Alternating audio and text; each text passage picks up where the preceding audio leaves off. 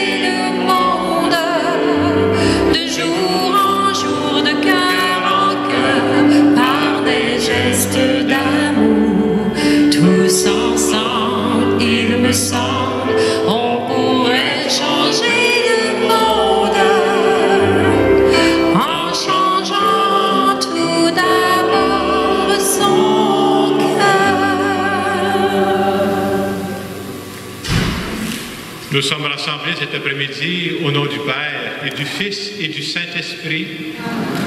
Le Seigneur soit avec vous. Bonjour. Bienvenue à cette célébration où on est un nombre restreint. Comme vous savez, on est dans la zone rouge, alors on peut fonctionner avec autour de 25 personnes. Je souhaitais la bienvenue aussi à toutes les personnes qui vont prier avec nous via Internet. Vous savez que notre messe est enregistrée, elle est disponible à partir du dimanche matin.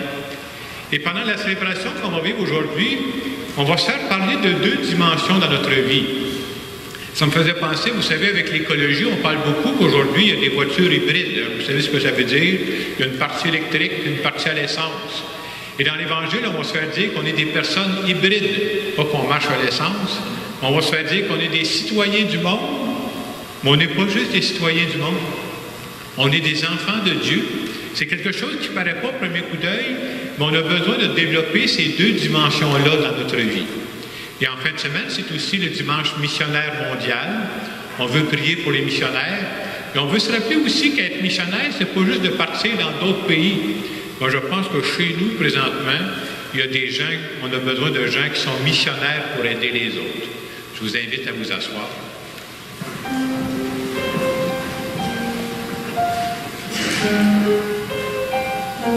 Au tout début de notre célébration, prenons un moment pour nous recueillir, un moment pour nous rappeler que Dieu est avec nous et qu'il a été avec nous pendant toute la semaine.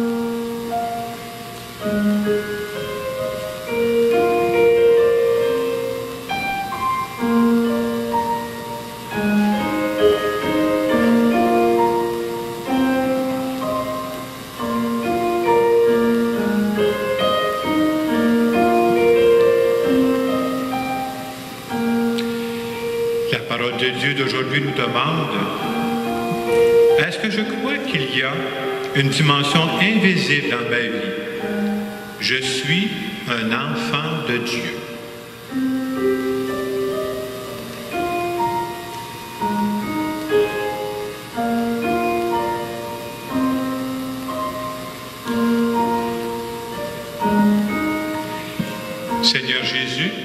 Tu nous invites à agir en citoyen responsable.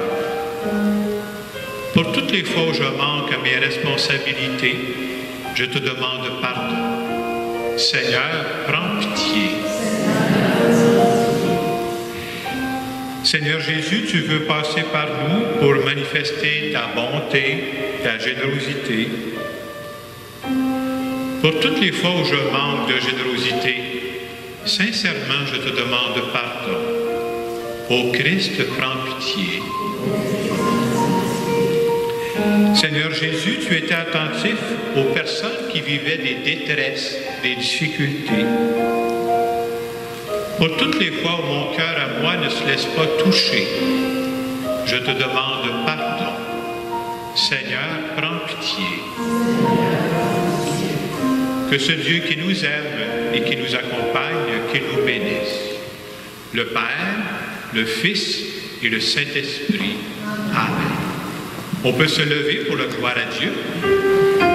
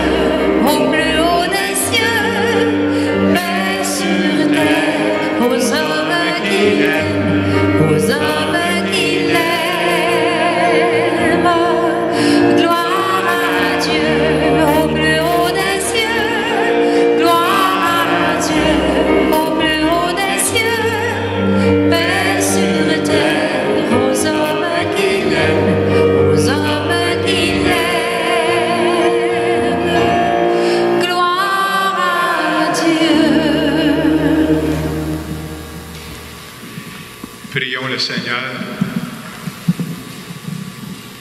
Seigneur, pour que l'œuvre du Christ se poursuive jusqu'à la fin des temps, tu as fait de ton Église le signe du salut que tu offres à toute personne. Ouvre l'intelligence de tes fidèles, fais-leur comprendre que tu les as choisis pour l'évangélisation du monde, de sorte que naissent et grandissent de tous les peuples de la terre le peuple de tes enfants par Jésus-Christ, ton Fils, notre Seigneur et notre Dieu, qui vit et règne avec toi dans l'unité du Saint-Esprit, maintenant et pour les siècles des siècles.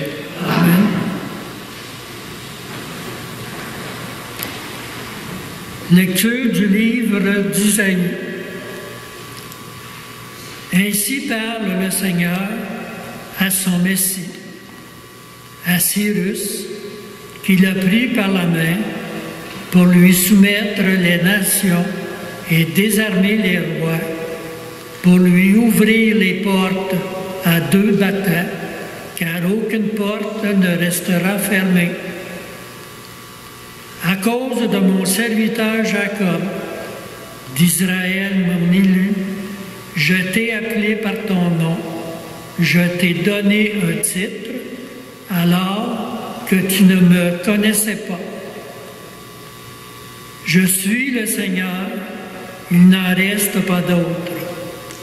Hors moi, pas de Dieu. Je t'ai rendu puissant alors que tu ne me connaissais pas, pour que l'on sache de l'Orient à l'Occident qu'il n'y a rien en dehors de moi. Je suis le Seigneur, il n'en est pas d'autre. Parole du Seigneur. Rendez au Seigneur la gloire et la puissance. Chantez au Seigneur un chant nouveau. Chantez au Seigneur terre entière, racontez à tous les peuples sa gloire, à toutes les nations des merveilles.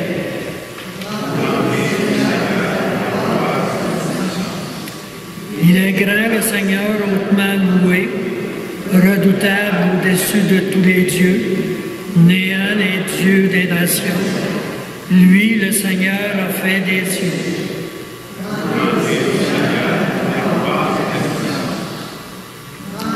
Dites au Seigneur, famille des peuples, rendez au Seigneur la gloire et la puissance, rendez au Seigneur la gloire de son nom, apportez votre offrande, entrez dans le parvis.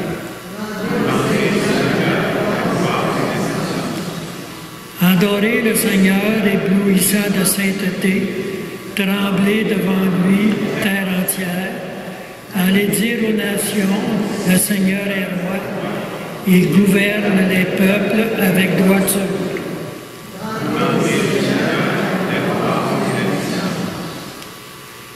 Lecture de la première lettre de Saint Paul apôtre aux Thessaloniciens. Paul, Sylvain et Timothée à l'Église de Thessalonique, qui est en Dieu le Père et dans le Seigneur Jésus-Christ. À vous la grâce et la paix. À tout moment, nous rendons grâce à Dieu au sujet de vous tous, en faisant mémoire de vous dans nos prières. Sainte, sans cesse, nous nous souvenons que votre foi est active, que votre charité se donne de la peine, que votre espérance tient bon en notre Seigneur Jésus-Christ, en présence de Dieu, notre Père. Nous le savons, frères bien-aimés de Dieu, vous avez été choisis par lui. En effet, notre annonce de l'Évangile n'a pas été chez vous simple parole, mais puissance, action de l'Esprit Saint, pleine de certitude. Parole du Seigneur.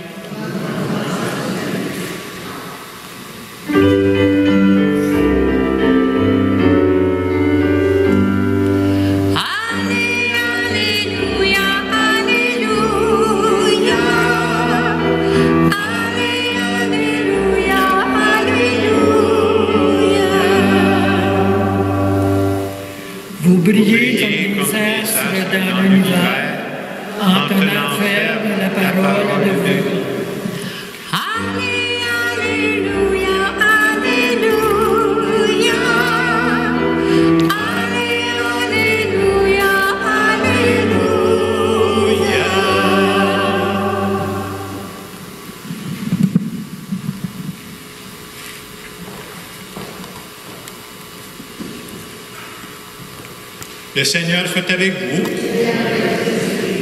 Évangile de Jésus-Christ selon Saint Matthieu.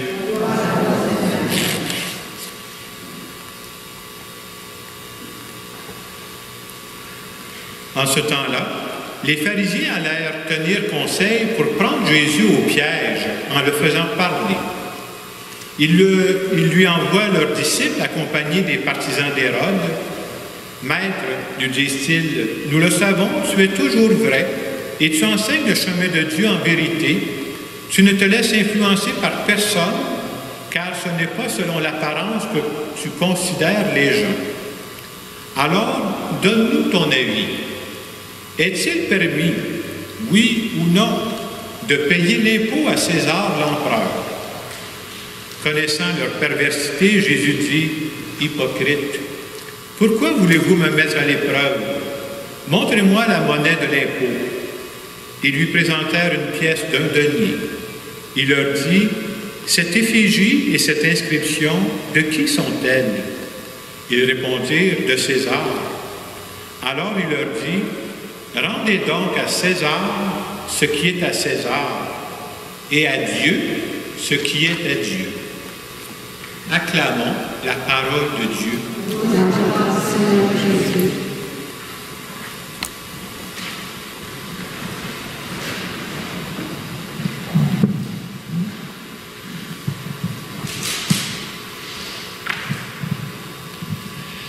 Dans l'évangile qu'on nous présente en fin de semaine, on voit les pharisiens qui questionnent Jésus. On sait très bien que les pharisiens, sont là pour tendre un piège à Jésus. Alors, la question qu'ils leur posent est très simple. Est-il permis, oui ou non, de payer l'impôt à César? On aimerait beaucoup que Jésus ait répondu non, ça aurait réglé nos problèmes. Mais c'est pas ça que Jésus va répondre. Il va répondre ceci. Il va dire, rendez donc à César ce qui est à César et à Dieu ce qui est à Dieu. Et à travers cette, euh, cette réponse-là, ce qu'on veut nous faire comprendre, Jésus veut nous faire comprendre qu'il y a en nous ces deux dimensions. C'est-à-dire, nous sommes des citoyens de la terre. Et comme citoyens de la terre, on s'implique dans la société où on est. Il nous est demandé ça. Mais il y a aussi cette dimension qui n'est pas visible avec nos yeux, mais nous sommes les enfants de Dieu. Sauf que je ne peux pas vous le montrer, cette dimension-là. Il faut y croire. Et en disant, rendez à César ce qui est à César, comme être humain, une des dimensions qui nous est demandée, c'est agir en bon citoyen. Je dirais un peu comme on le fait présentement avec la COVID. Bon, on agit d'après ce que les règles du gouvernement nous demandent. Mais Jésus, quand il ajoute Rendez à Dieu ce qui est à Dieu, il est en train de nous dire Oubliez pas qu'il y a une autre dimension dans votre vie. Oubliez pas que c'est Dieu qui fait sortir le meilleur de nous-mêmes. C'est Dieu qui nous aide à, à, partir, à donner des élans de bonté, de générosité. Et nous, ce qu'on veut, c'est agir à la manière de Dieu dans notre monde. C'est le défi de notre vie. Donc, toujours ces deux dimensions. Je ne suis pas juste un être spirituel, puis ce qui se passe sur la terre, ça ne m'intéresse pas. Non, non. J'ai quelque chose à faire sur la terre. Moi, je suis un citoyen. Mais j'ai aussi cette dimension-là. L'image qui m'amenait, ce serait la suivante. Moi, en tout cas, j'avoue, il me semble que je serais déçu à la fin de ma vie si on disait juste quand Jacques va mourir, ce qui n'est pas pressant, quand Jacques va mourir, dit Bon, dans le fond, c'est un bon gars, il n'a pas fait trop d'affaires croches, il était un bon citoyen, il n'a pas volé personne, il n'a pas tué personne. Bien, j'espère que j'aurais fait ça, mais j'espère que je vais faire d'autres choses que ça aussi. J'espère qu'à cause de ma foi, de temps en temps, on pourra dire de temps en temps, il me semble qu'il a posé des gestes déraisonnables de bonté et de générosité. Puis s'il faisait ça, d'après moi, c'est parce qu'il écoutait ce que Dieu lui demandait. Les personnes que nous sommes devenues au fil des ans, moi je pense que c'est Dieu qui nous a façonnés. Et notre rôle à nous, on voudrait que de plus en plus, j'avance dans la vie, j'aimerais ça que, à force de côtoyer Dieu, que Dieu déteigne sur moi. Ça paraît plus que j'agis à sa façon, que je parle plus à sa façon, que je suis plus sensible aux personnes qui sont vulnérables parce que Dieu a toujours été sensible à ces personnes-là. Alors, c'est le défi de nous autres. Et en fin de semaine, c'est le, dimanche euh, missionnaire mondial. Et quand ça arrive ce dimanche-là, j'avoue que ça me rappelle des, des parce que j'ai eu la chance de vivre pendant deux ans en Afrique, dans des tout petits villages. Et quand je pensais à ça cette semaine, je, voyais passer des images, des, photos des, missionnaires que j'ai connus là-bas. Et ces missionnaires-là, je peux dire, ceux que j'ai connus, qui m'ont beaucoup marqué, ce sont des gens qui agissaient comme des enfants de Dieu. C'est quoi ces missionnaires-là? J'en ai connu qui venaient d'ici du Québec, il y en a qui venaient de France, il y en a qui venaient d'Espagne. Ce sont des gens qui avaient accepté de quitter leur pays d'origine. Il faut le faire, là. Tu laisses ta famille, tout ça, là. Puis, ils avaient choisi d'aller aider des populations plus pauvres. Et on pense toujours que des missionnaires, c'est juste pour, je sais pas, pour parler de Jésus-Christ. Oui, parlaient de Jésus-Christ, mais ils parlaient de Jésus-Christ avec des gestes aussi. Moi, j'ai vu des missionnaires travailler dans des petits villages pour faire creuser des puits. Parce que dans ces villages-là, les gens manquaient d'eau. S'occuper des enfants de Dieu, c'est s'occuper des besoins des enfants de Dieu aussi. Pendant que j'étais là, dans le petit village où j'étais, il y avait aussi des sœurs missionnaires d'Afrique. Les autres, ces sœurs-là avaient ouvert ce qu'on appelle un dispensaire pour soigner les gens. Et vous savez, c'est avec les moyens du bord. Tu n'es pas, pas équipé comme dans une clinique ici ou dans un hôpital. Là. Et ces religieuses-là avaient ouvert aussi un endroit pour que les gens, les, femmes puissent accoucher dans, des, dans des conditions qui ont un peu d'allure. Et je me suis dit, quand elles faisaient ça, c'est, quand ils faisaient ça, ces missionnaires-là, ces sœurs-là, là, Pensez-vous qu'ils faisaient ça pour le salaire, vous autres? Ils n'avaient pas de salaire. Alors, quand ils agissaient, ils agissaient comme enfants de Dieu. Et je trouve qu'en fin de semaine, on peut se faire rappeler, oui, on veut se souvenir que des missionnaires qui œuvrent en Afrique ou dans d'autres pays, mais on veut se rappeler aussi qu'on est tous appelés à être missionnaires. C'est pas nécessaire d'être ailleurs, il faut être missionnaire ici. Il y en a des besoins ici aussi. Et justement, moi, c'est un des aspects qui me frappe. Croire qu'on est ici, là, c'est croire, euh, c'est Saint Paul qui disait dans la lecture, vous avez été choisis par Dieu. On a tous été choisis par Dieu, nous autres. C'est-à-dire que Dieu a tous une mission à nous confier. Et c'est important de se dire ça présentement dans la situation dans laquelle on vit. Moi, je peux vous dire que quand je prie de ce temps-là, je essayer de me laisser interroger par le fait suivant. Vous savez, plus la pandémie avance, plus je suis convaincu qu'on va rencontrer des gens en détresse dans notre monde. Parce qu'il y en a qui vivent des situations difficiles présentement. Il y a des nouveaux besoins qui vont apparaître ici au Québec dans les prochains mois, je suis sûr de ça. Et si c'est vrai qu'on croit qu'on a été choisi par Dieu, c'est-à-dire que Dieu nous travaille le cœur présentement, je pense qu'il va falloir être attentif, c'est quoi les nouveaux besoins et qu'est-ce qu'on pourrait faire nous autres, avec les moyens qu'on a là. Qu'est-ce qu'on pourrait faire pour aider ce monde-là? Moi, c'est une affaire que je demande à Dieu de ce temps-là. Et Jésus, quand on le voit aller dans le temps, quand on le voit dans le temps des évangiles, partout où il y avait de la détresse, il était sensible à ça. Moi, je pense que Jésus il est ressuscité, il est parmi nous, et présentement, ça le dérange, les gens qui vivent de la détresse. Puis une des prières que je fais, je dis que nous autres, comme Église, comme Église vivante, il faudrait que dans les mois à venir, on soit attentif. Y a-t-il quelque chose qu'on pourrait faire dans notre monde pour aider les gens qui vont vivre des difficultés importantes dans les mois à venir? Des gens qui vont vivre de la détresse. C'est important de demander ça à Dieu parce que Dieu ne veut pas juste qu'on soit à genoux en prière, Dieu veut qu'on soit attentif aux besoins de notre monde. En tout cas, si on voit des choses apparaître, je vais vous en reparler dans les mois à venir, parce que je trouve c'est important qu'on fasse quelque chose.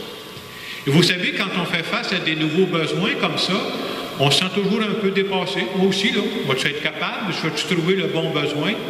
Et cette semaine, j'ai... J'ai pris une marche lundi, c'était la fête de l'Action de grâce, et j'ai vu quelque chose de beau qui m'a inspiré pour dire on peut garder confiance qu'on ne fera pas ça tout seul, Dieu va être avec nous. Alors, ce que j'ai vu, c'est très simple. Lundi, je marchais, puis quand je suis passé vis-à-vis maison, il y a un monsieur, vous allez voir, ce pas une activité très spéciale, il sortait son bac à vidange. C'est ça qui m'a frappé. Ce qui m'a frappé, c'est que le monsieur tirait son bac à vidange. Vous savez, il y a des poignées dans l'autre bac à vidange, mais il y avait avec lui un petit gars, je ne sais pas quel âge, 3-4 ans. Le petit gars, lui, il était penché devant le bac, puis il poussait, il forçait, il forçait. Et le petit gars de 3-4 ans, il était convaincu que c'est lui qui faisait avancer le bac à vidange. Et moi, je sais très bien que celui qui faisait avancer, c'est qui? C'est son père qui est en avant, qui tirait. Et je me suis dit, c'est exactement comme nous avec Dieu. Il y a des besoins dans notre monde, puis nous autres, on dit comment je vais répondre à ça? Il me semble que je n'ai pas les forces pour ça. Puis on pousse, on va faire nos petits gestes. On pousse, puis on pense que c'est nous autres qui vont tout faire ça. Mais en réalité, ça va être un peu comme le Père, ça va être Dieu qui va faire le gros du travail. Ce que Dieu nous demande, commencez à pousser, comme le petit gars faisait, là. faites confiance que si vous faites votre part, Dieu va faire sa part, puis la part de Dieu est beaucoup plus grande que la nôtre. Semaine, on se fait dire justement que nous sommes appelés à des bons citoyens dans notre monde et d'agir aussi en enfants de Dieu. Alors, en terminant cette homélie, j'aimerais faire une prière en notre nom.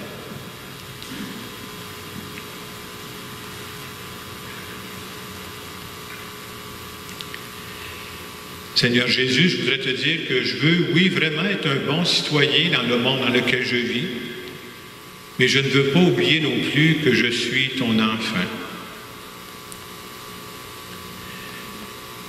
Comme le dit Saint Paul, je crois que tu nous as choisis. Je crois que tu m'as choisi pour vivre dans cette période-ci de notre monde. Et je te dis que dans les semaines à venir, dans les mois à venir, je voudrais être plus attentif à toutes les personnes qui vivront des difficultés, des détresses suite à la pandémie. Je te dis que je suis même prêt à poser des gestes déraisonnables de bonté, de générosité, si tu nous inspires des façons d'aider ces gens-là.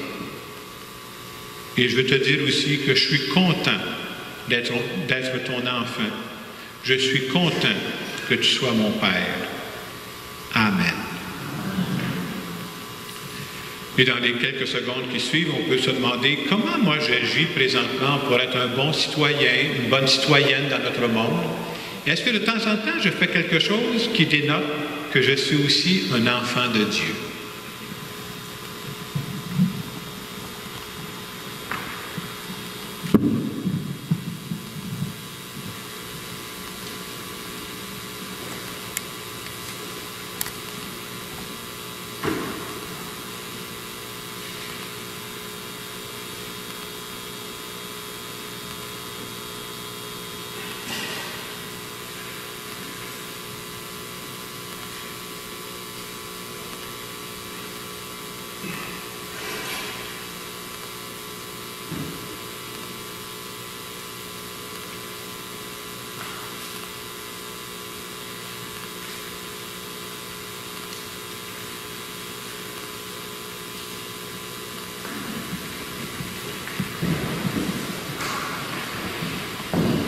Cet après-midi, nous voulons dire ensemble que nous croyons que Dieu est notre Père et que nous sommes ses enfants.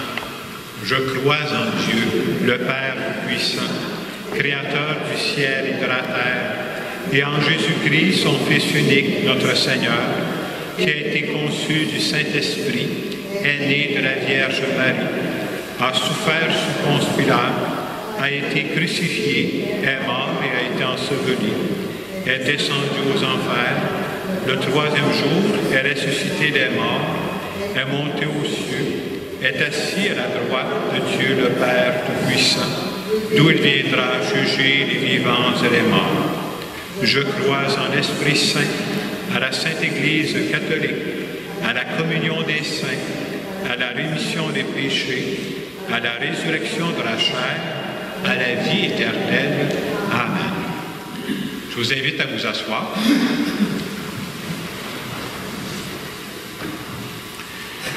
J'aimerais maintenant présenter à Dieu trois intentions de prière qui nous ont été suggérées par des personnes qui fréquentent nos églises.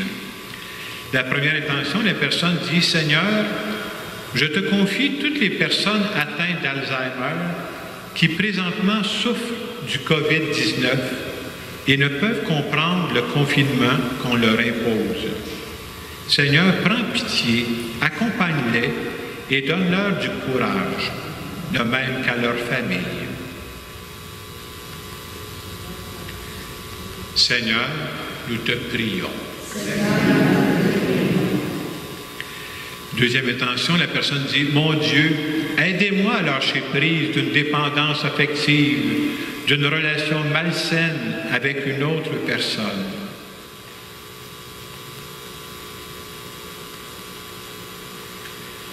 Seigneur, nous te prions. Et cette troisième intention, on demande une prière pour une personne qui ne marche plus à cause de l'arthrose dans la quatrième et cinquième vertèbre du dos. Seigneur, nous te prions. Nous allons maintenant continuer notre célébration. Je sais qu'en fin de semaine, il y a une quête. Il y avait une deuxième quête de prévue aussi pour les missionnaires, si on veut partager avec eux.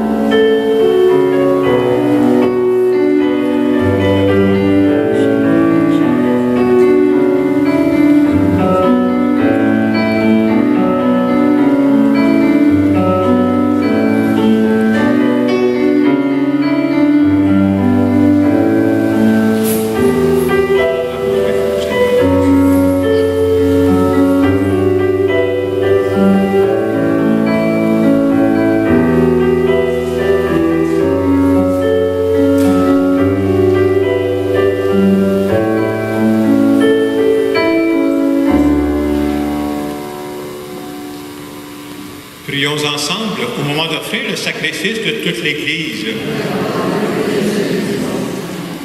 Regarde, Seigneur, le visage de ton Christ et souviens-toi qu'il s'est livré pour le salut de tous. En lui qui t'a glorifié jusqu'à t'offrir sa vie, fais-toi reconnaître comme le Dieu d'amour d'une extrémité du monde à l'autre. Que tous les peuples de la terre fassent monter vers toi l'action de grâce de Jésus, ton Fils, notre Sauveur, lui qui règne avec toi pour les siècles des siècles. Le Seigneur soit avec vous. Élevons notre cœur. Rendons grâce au Seigneur notre Dieu. Vraiment, il est juste et bon de te rendre gloire, de t'offrir notre action de grâce toujours et en tout lieu, à toi, Père très saint, Dieu éternel et tout-puissant, par le Christ notre Seigneur. Dans le mystère de sa part, il a fait une œuvre merveilleuse, car nous étions esclaves de la mort et du péché, et nous sommes appelés à partager sa gloire. Nous portons désormais ces noms glorieux, nation sainte, peuple racheté, race choisie, sacerdoce royal.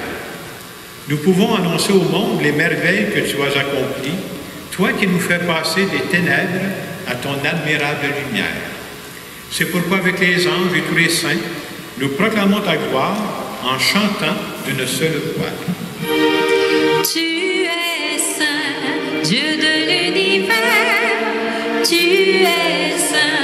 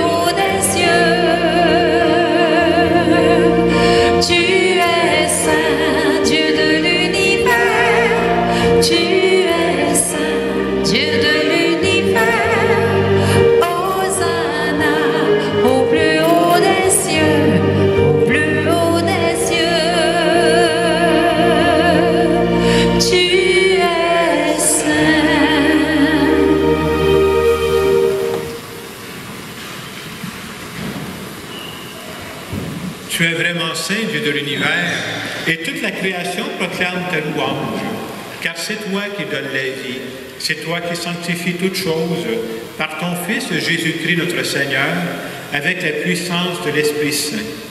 Et tu ne cesses de rassembler ton peuple, afin qu'il te présente partout dans le monde une offrande pure. C'est pourquoi nous voici rassemblés devant toi. Et dans la communion de toute l'Église, en ce premier jour de la semaine, nous célébrons le jour où le Christ est ressuscité d'entre les morts. Par lui que tu as élevé à ta droite, Dieu Tout-Puissant, nous te supplions de consacrer toi-même les offrandes que nous apportons. Sanctifie-les par ton esprit, pour qu'elles deviennent le corps et le sang de ton Fils, Jésus-Christ notre Seigneur, qui nous a dit de célébrer ce mystère. Au milieu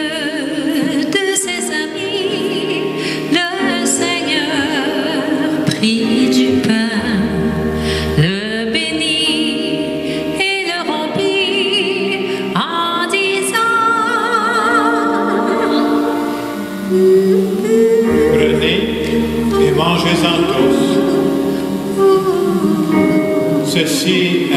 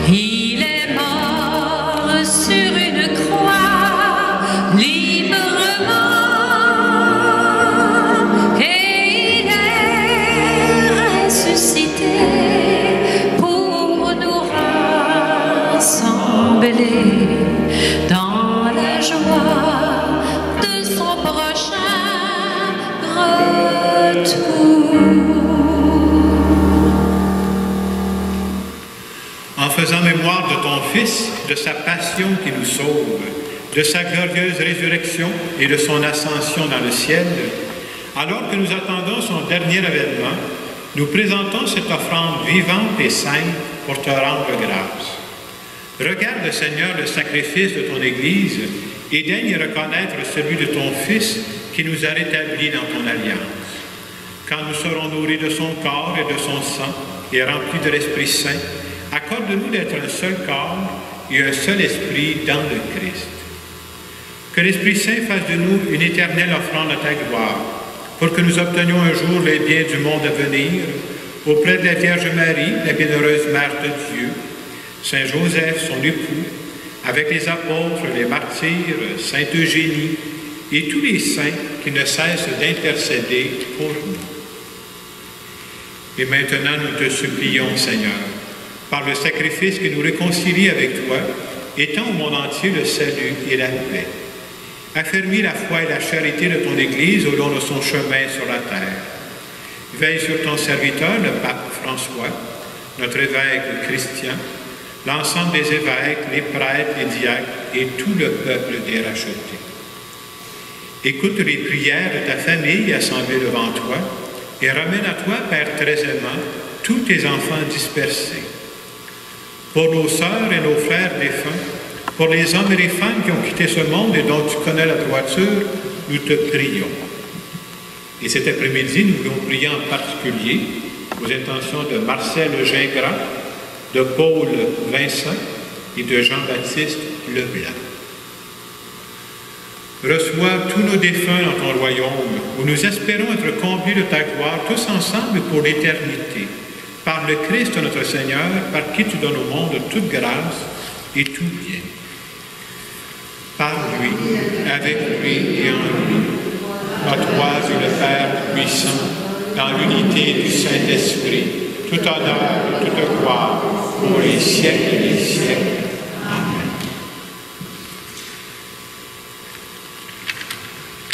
En fin de semaine, on se fait rappeler qu'on n'est pas juste des citoyens de la terre, qu'on est des enfants de Dieu. Et croire qu'on est des enfants de Dieu, c'est croire que Dieu nous parle présentement à travers ce qu'on vit. Là. La situation dans laquelle on est, Dieu a quelque chose à nous dire. Et on veut lui dire en notre priant aujourd'hui, si tu as besoin de nous, on est disponible pour être tes mains, pour être ton cœur, pour aider les gens qui sont le plus mal pris présentement. Notre Père, qui que ton nom soit sanctifié, que ton règne vienne, que ta volonté soit faite sur la terre comme au ciel. Donne-nous aujourd'hui notre pain de ce jour. Pardonne-nous nos offenses, comme nous pardonnons aussi à ceux qui nous ont offensés. Et ne nous laisse pas entrer en tentation, mais délivre-nous du mal. Délivre-nous de tout mal, Seigneur, et donne la paix à notre temps. Par ta miséricorde, libère-nous du péché. Rassure-nous devant les épreuves. En cette vie, nous espérons le bonheur que tu promets et l'avènement de Jésus-Christ, notre Sauveur.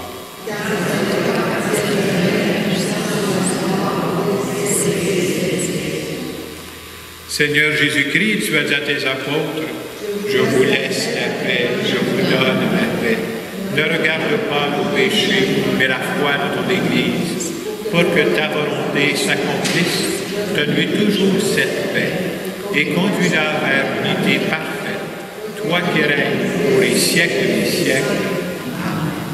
Que la paix du Seigneur soit toujours avec vous.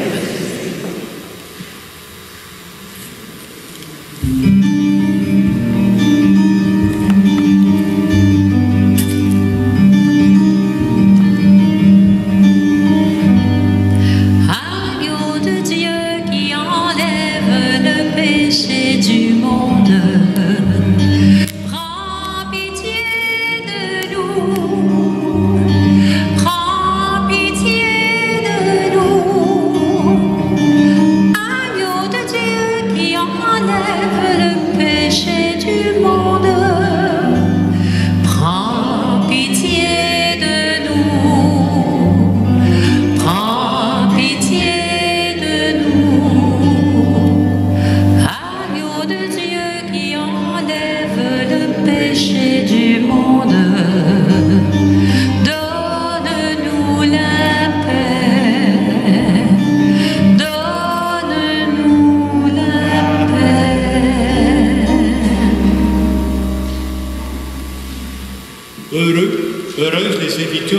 Seigneur, voici l'agneau de Dieu qui enlève le péché du monde. Seigneur, choisis notre sauveur. Mais seulement une parole, je serai. Le corps du Christ. Amen.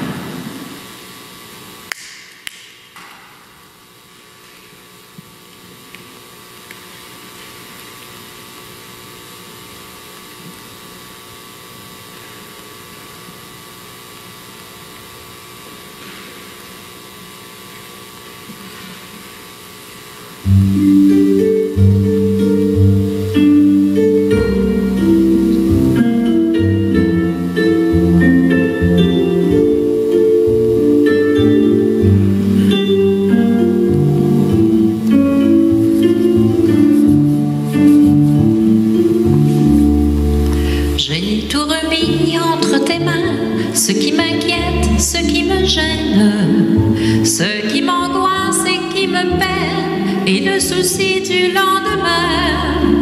J'ai tout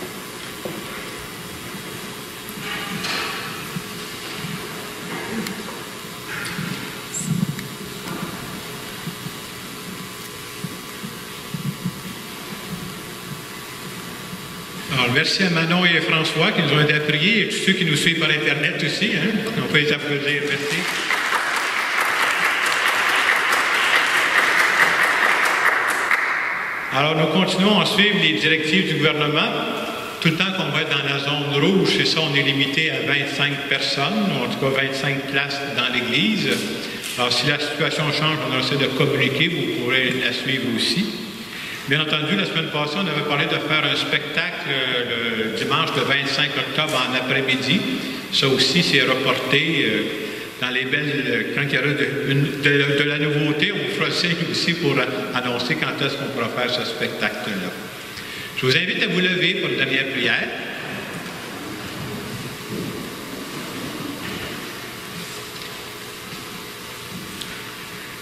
Nous recevons de toi, Seigneur, les vivres que nous aurons dans ton royaume, et nous te prions pour les humains qui ne te connaissent pas.